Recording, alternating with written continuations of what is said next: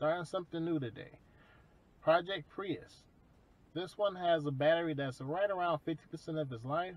I ordered a Prolong kit to see if I can get this thing um, to live a longer life than what it's living right now. At the rate it's going, it's got maybe a year, year and a half left in life.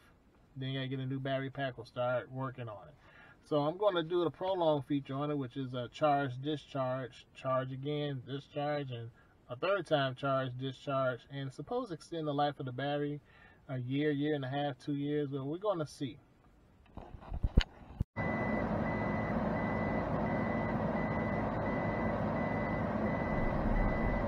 Battery pack has estimated 49.80% capacity left. It is in bad condition but will still run.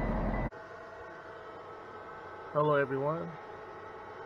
Since this is going to be a one-time battery reconditioning, uh, the owner, if they want, can bring it back and we can do it again.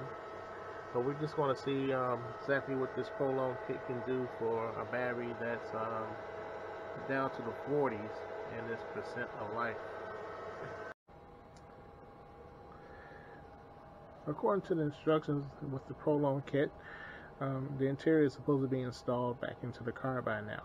But since this kit is not staying with this car now, we will be refurbishing more Priuses as we go along.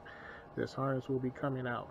So for safety purposes, I did replace the cover back over the connections just in case something fell down in there. We don't want to have any accidents. So the safest bet is to um, put the cover back on while I'm going through this process of charging and discharging.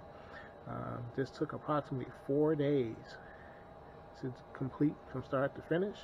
As you can see right now, it's still going through its last and final balancing phase right now. I'm done with all the discharging, but I will walk you through step by step uh, how this process works.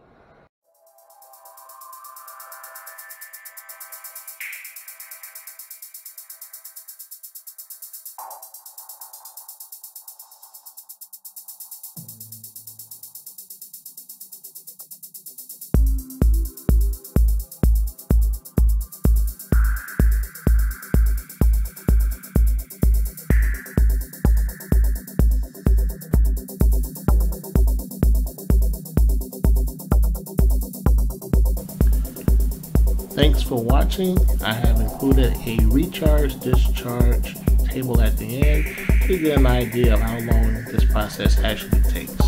See you next time.